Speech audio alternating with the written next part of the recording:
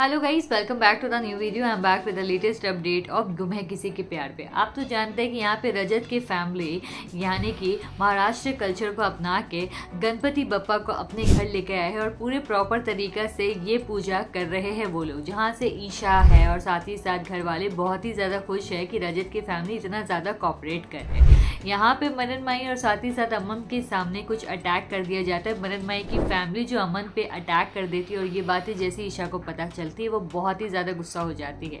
But यहाँ पे like finally ये लोग दोनों शादी के लिए रेडी होती है और ये सारी बातें सुन के भाग्यश्री बहुत खुश होती है। बट वो अपना, वो जो एक एक्साइटमेंट फुल नेचर है, वो सबके सामने दिखाना नहीं चाहती जताना नहीं चाहती कि वो कितना ज़्यादा खुश है।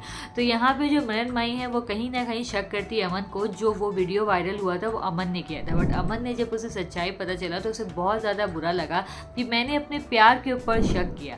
एंड देन उसके बाद यहाँ पे रजत दोबारा अमन को प्रोटेक्ट करने के लिए आता है बट यहाँ पे अर्श कुछ बोलता है रजत को। और ये सारी बातें चली जाती है किसके कान पे? दवा ने नोली सभी के कान में उसे पता चल जाता है कि रीज़न क्या है। रजत क्यों इतना हद तक ज़्यादा गंदा बिहेव कर रहा है सही के साथ? क्योंकि अर्श जो उसका कान को भर रहा है और ब्रेन वॉश कर रहा है। सो so गाइस आपको क्या लगता है कि तह तक जा पाएगी सभी? What you think about it let me know in the comment box be with me. Don't forget to subscribe. Tata tak ke. Bye.